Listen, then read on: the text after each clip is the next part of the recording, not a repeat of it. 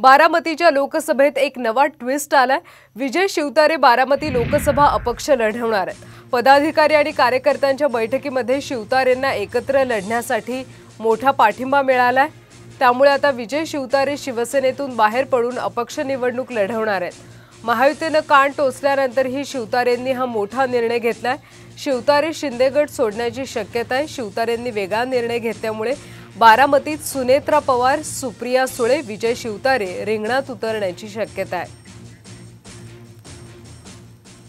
की बारामती लोकसभा मतदारसंघ हा काय कोणाचा सातबारा नाही देशातील पाचशे त्रेचाळीस मतदारसंघापैकी एक लोकसभेचा मतदारसंघ आहे. आणि मालकी कोणाची नाही आहे सहा विधानसभेचे मतदारसंघ आहेत.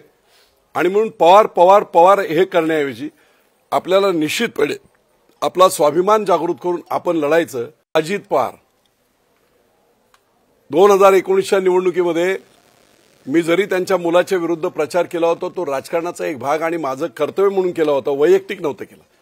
परंतु अजित पवारांनी सभ्यतेची सगळी नीच पातळी गाठली. अजित पवार उर्मट आहे.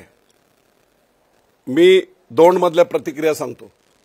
अजित पवार उर्मट आहेत आणि म्हणून आम्ही अजित पवारांना मतदान करणार नाही त्याच्याऐवजी आम्ही सुप्रिया सुळेंना मतदान करू.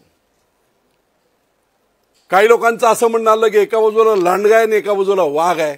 कुठच्याही पिंजरात टाकलं तरी तेच आहे. बारामती लोकसभा मतदारसंघातील लोकशाहीला मानणाऱ्या घराणेशाहीला कुटुंबशाहीला आणि साम्राज्यवादाला न मानणाऱ्या सर्वसामान्य मतदारांना मतदानाचा हक्क मिळावा म्हणून मी ही निवडणूक लढणार लढणार लढणार.